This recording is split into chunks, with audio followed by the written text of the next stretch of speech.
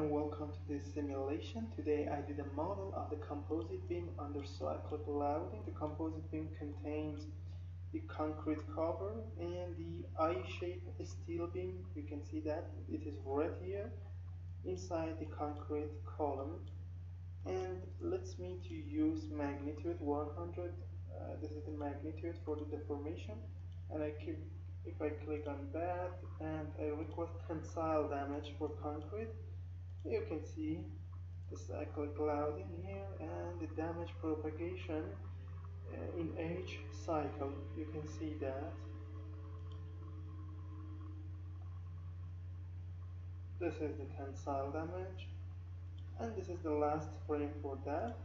If I click on a compressive damage you can see the compressive damage at the base happened and the stiffness degradation.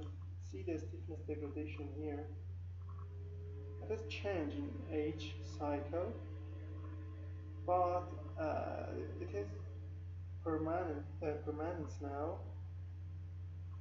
But after uh, for instance one and point one point half second it is appear completely.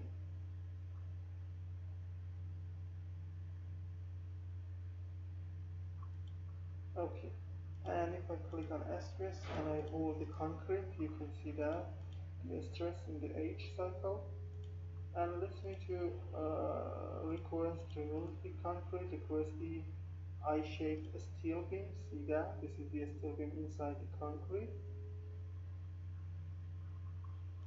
If I click for instance displacement for that you can see the displacement for that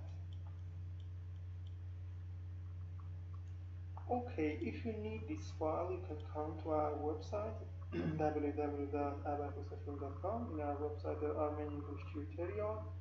For instance, this is our tutorial and our purpose. So click on the title of blue sign. This is continue. And then you will have this title, explanation about the process and simulation. And these are the figures and these are the results here. And there are three important points here. The file contains here anything English video step by step and the cost is 30 US dollars. You can pay with PayPal. If you have PayPal, uh, send me an email to this address. This is a better way and easier way to use PayPal uh, for the purchasing process. Thank you for attention.